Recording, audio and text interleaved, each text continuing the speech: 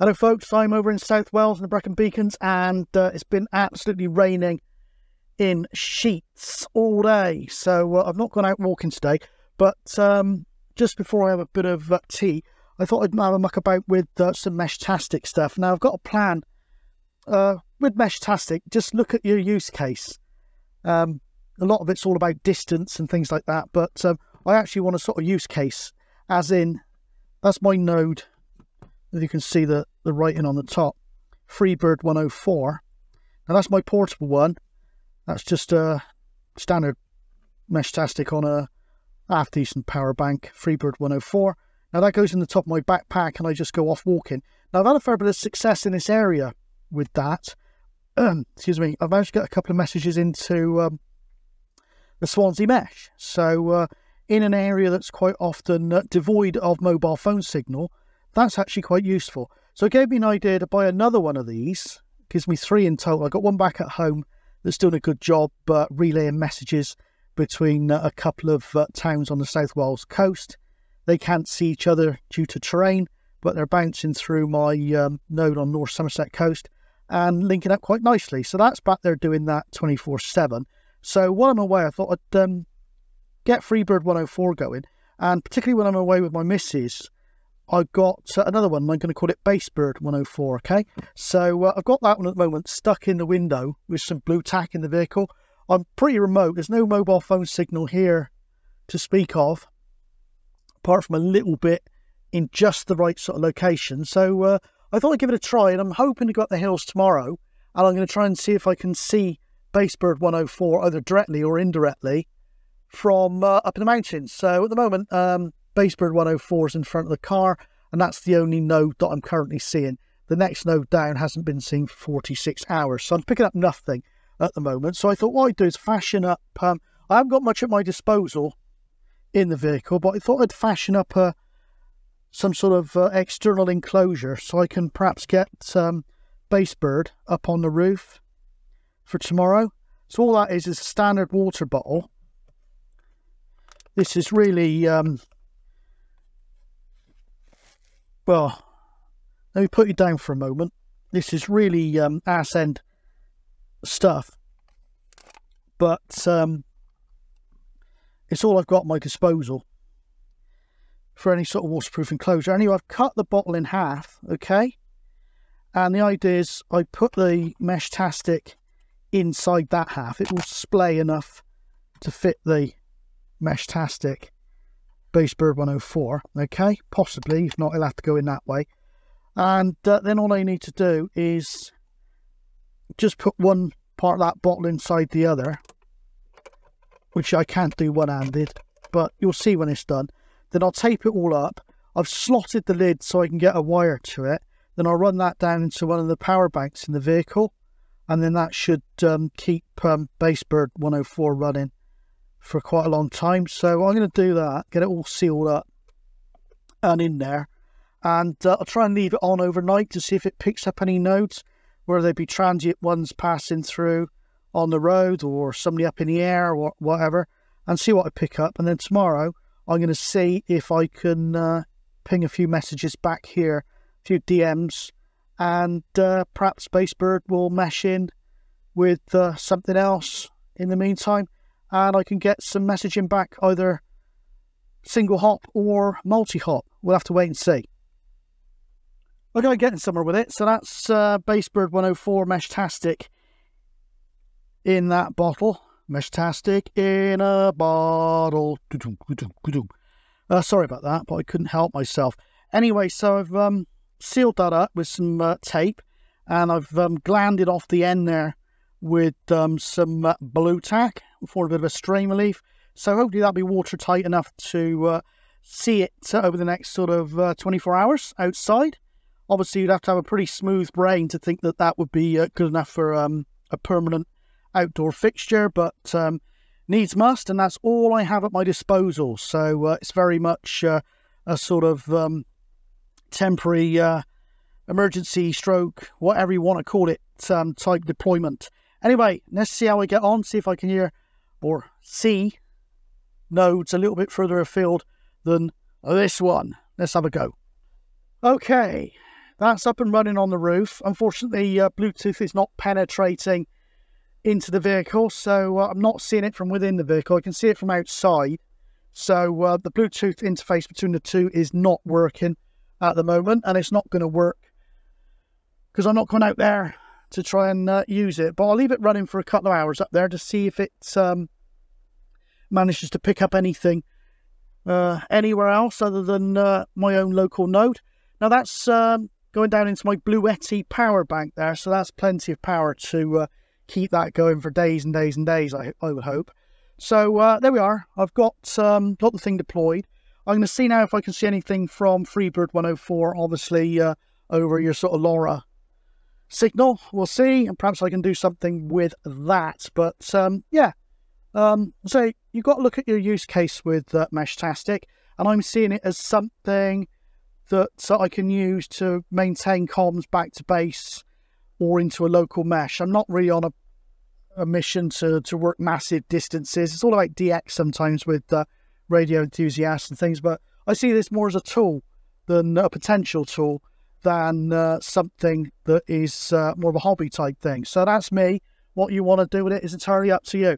But um. We'll see what we can do. Ultimately, I think I'll have Freebird 104, Basebird 104, and perhaps Mobile Bird 104 or Moby Bird 104 and something like that. Might change the names of them, I don't know. And uh, get some sort of half decent sort of mesh going for myself. Might even get my old man one as well and uh, we can all mesh together, perhaps on a private channel or through or through DMs. So uh, we'll see. We'll see what happens. Right, so so yeah. Good news is, is I'm able to see Basebird 104 now from Freebird. This is the phone that's um, Bluetooth into Freebird 104, which is just up there at the moment. And of course, Basebird's up on the roof. It shows it hasn't died a death of a thousand raindrops yet, but unfortunately I can't Bluetooth into that. From there I'd have to go outside. But um, certainly no reason why in the future I can't um, perhaps peg something in the ground or put up in a tree or something like that and uh, Bluetooth into it. And obviously the signal would penetrate the glass okay for Bluetooth. So uh, local admin, local comms, Bluetooth to Basebird, non-existent. But I am seeing it on the mesh via this um, Freebird 104 node. So uh, let's see if anything other than my nodes show up because number three on the list there hasn't been seen for 47 hours. So we'll give it some time and we'll see what shows up, if anything. Okay, folks, right, let's have a look at um, some uh, updates, which is next to nothing, i.e. no new nodes have appeared in the last sort of half an hour. I'll leave it up the running. See, more than anything, it's a test for tomorrow. So that phone, as I say, is, is linked in with um, Freebird 104, and that's interfaced with um, Basebird up there through the uh, the LoRa network. It's meshed in together, but I'm not seeing uh, over the Bluetooth connection from the app directly up to Basebird through the roof, which is a shame. Shame. But um, I've been giving it some thought. Of course, I've got the wire coming through the window over there. So um, I have got a laptop here somewhere. So I could possibly, if I could find the room, etc., I could um, plug that into the laptop. The laptop USB would power the node, and I can uh, access the node through the uh, Meshtastic uh, web client through serial connection. So that would uh, be a fail-safe way of connecting. And also, um, I think if I go for a more permanent mobile node on the roof of the vehicle or whatever I want to do.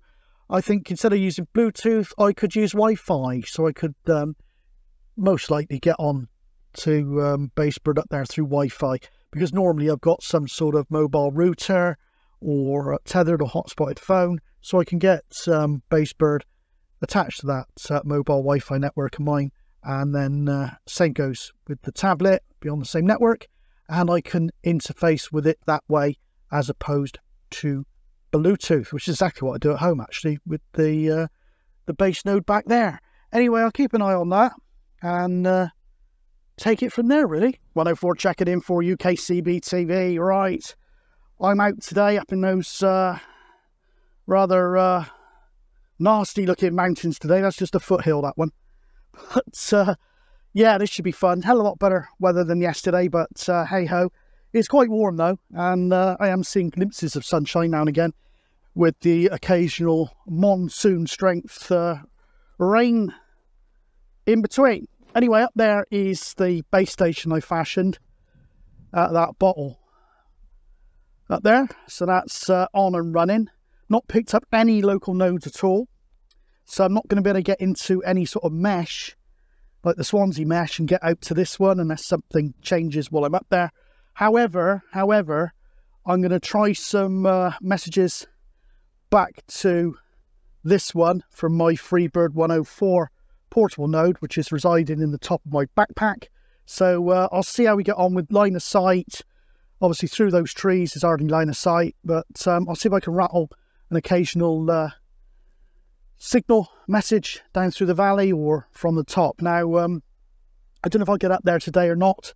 Have to wait and see, but this one peaks out at 2,631 feet, 801, 802 meters above sea level. I'm down at about 300, so I've got 500 meters of ascent to go and up through either a ridge route or a valley route there or back or a mixture of the two. So uh, wish me luck. I've also got a 446, but uh, really this is about Meshtastic. Let's see if it has actually got some use for me when I set up a base station and uh, perhaps uh, a roaming node or two. Okay, catch you en route. Okay, this is the proper job portable really, isn't it? Um, it's starting to rain now, so just stopped off on the really steep bit. I've still got line of sight back to the campsite, but I'll uh, actually be behind trees, my base camp.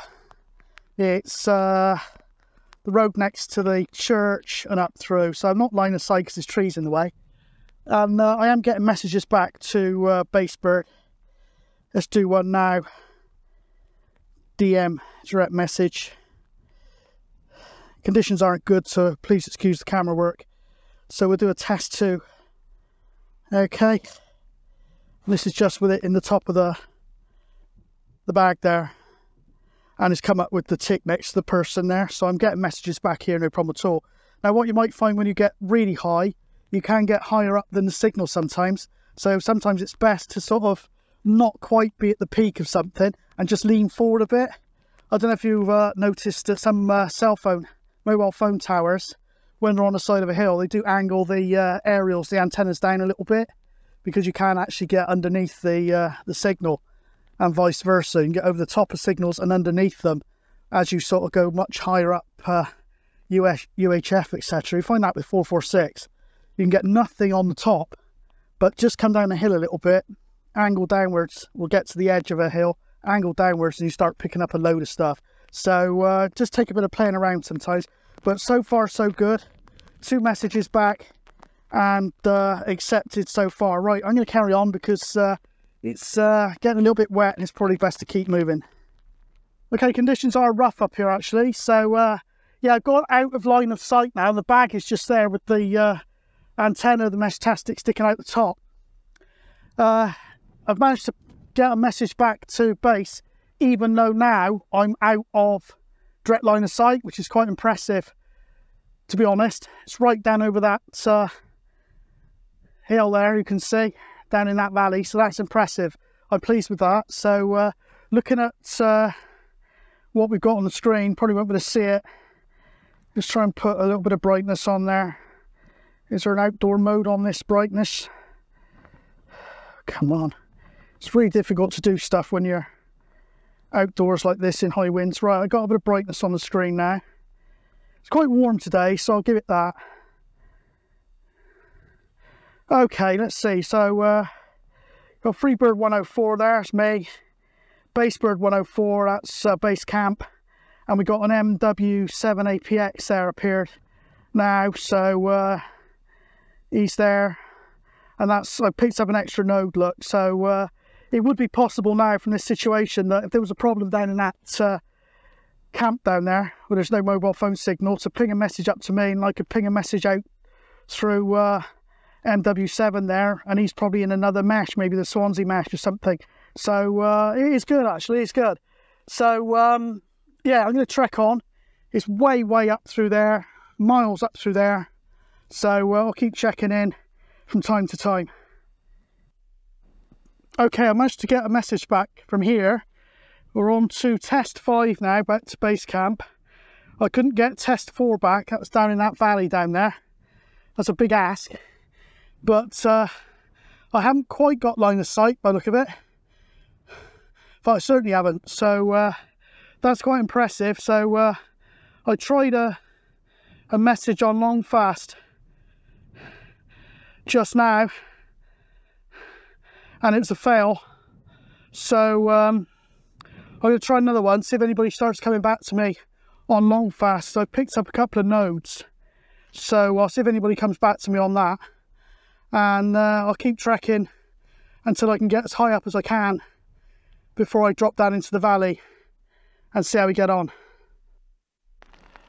Okay guys, I'm uh, getting hit by horizontal hailstones at the moment. Uh, there we go. Anyway, I'm probably up about uh, 700 metres. I've had no replies yet on uh, long fast, even though uh, I'm getting into the mesh and I'm seeing a lot of nodes, but uh, no replies. Uh, I've managed to ping a few directly back to base camp, but my main priority now is to get to the shelter on the top of Amber which is along there down a very deep valley and then back up the other side. So uh, yeah, I have to say this is not for everyone, this type of thing. So uh, do be very cautious. Okay, I've got to keep going, otherwise uh, I might get a little bit hypothermic. I must keep moving. Okay, folks, I'm on the top of Amber Mountain now. There's a trig point. I'm in the storm shelter at the moment. Uh, weather's not great. It's a damn sight better than it was last time I came up here. I got driven off by uh, a really bad uh, hailstorm back in September. So uh, there we go, there's a trig, 2,630 something feet, 802 meters I think it is, ASL. So uh, yeah, I've got the um, the node Freebird 104 out of the bag and up and running. I'm seeing a load, a load of nodes, but um, I fired out a few um, messages and they've all got ticks. So I'm getting into into meshes with it, but um, no reply. I did get a reply last time and the time before I came up um, to uh, this sort of area. So it's a shame I haven't had any replies this time. That is uh, a bit of a shame. But uh, there we go. Um, looking at uh, Basebird, I pinged a few DMs. They've got ticks next to them, but I don't think for a second those messages will make it back.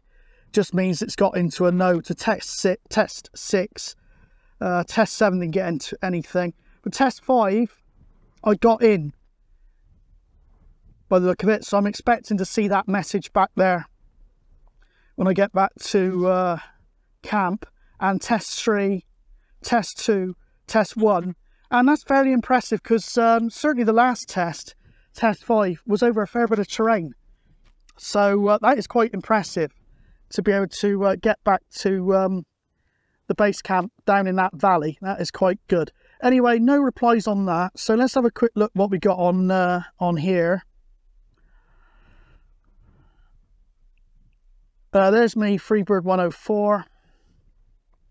See, they're all right up to date nodes. 37 kilometers that node that uh, gw1 node.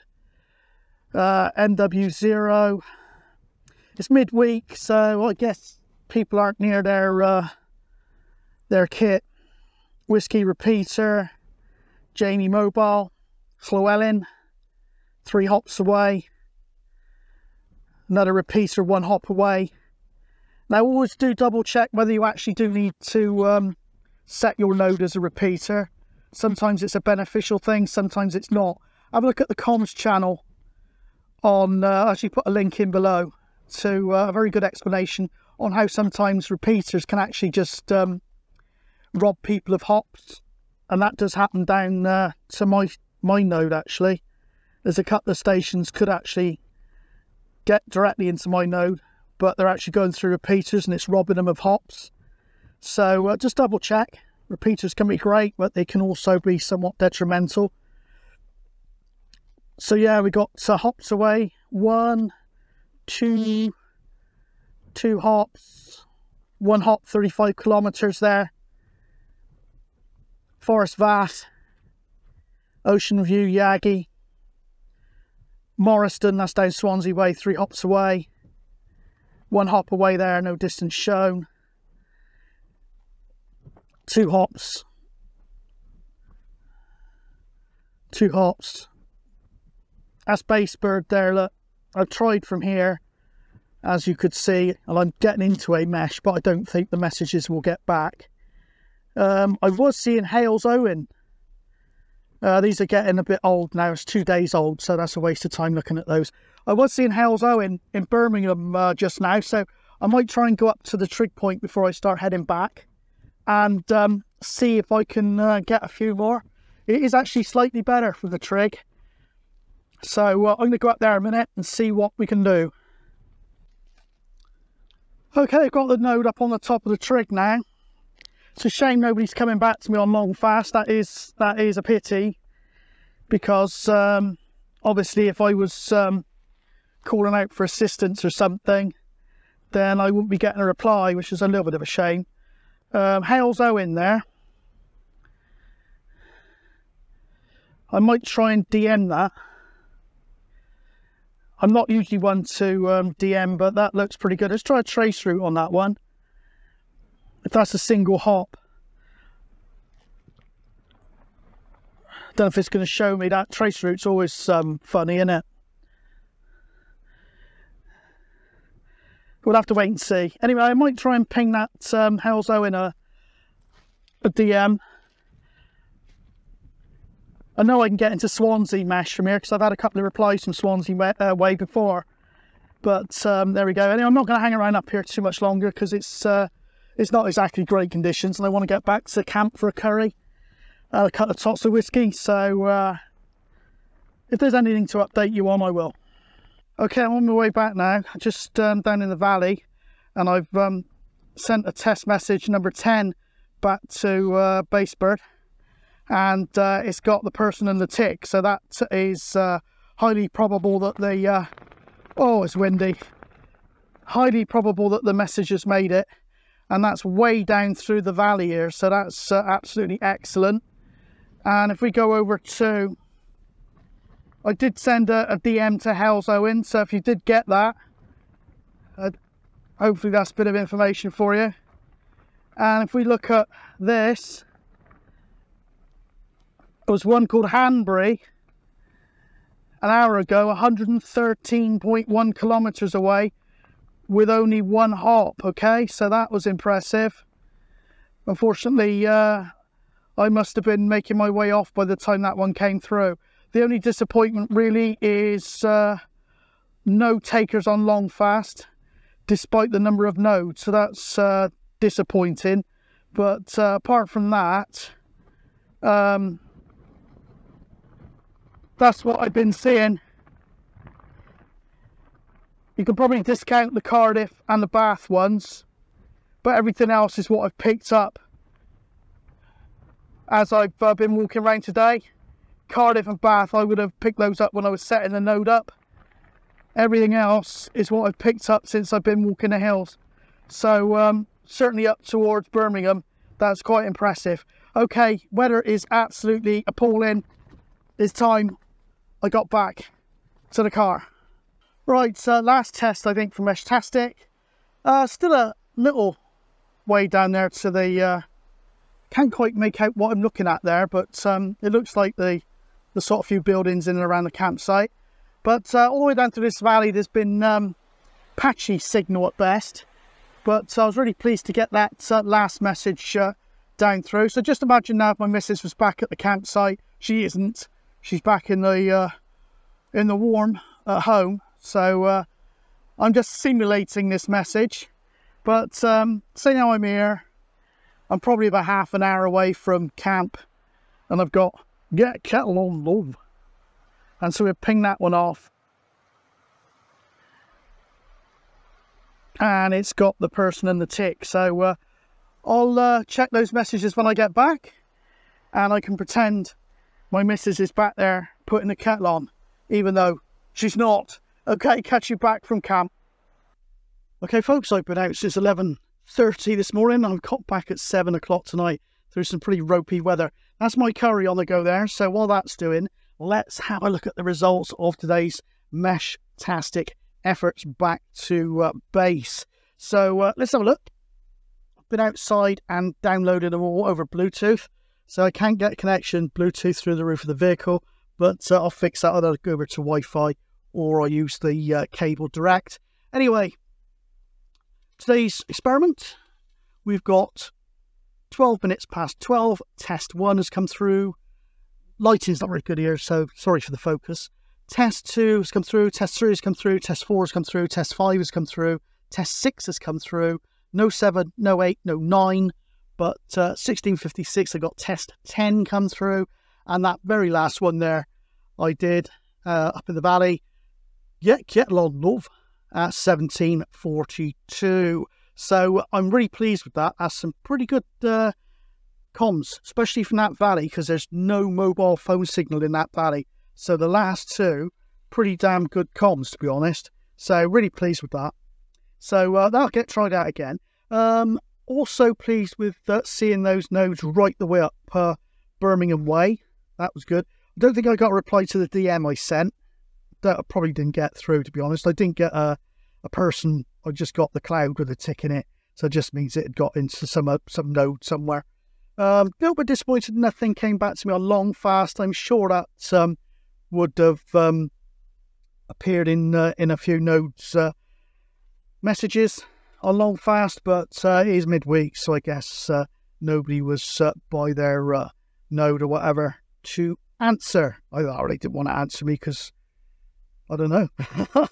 Probably thought, oh, it's at 104 again because I've been out there twice before and I got answers on both occasions. That's why I'm a little bit disappointed with that. But apart from that, I am actually very pleased indeed. So uh, thumbs up to uh, Mesh-tastic today, and I will be persevering with it. Catch you soon.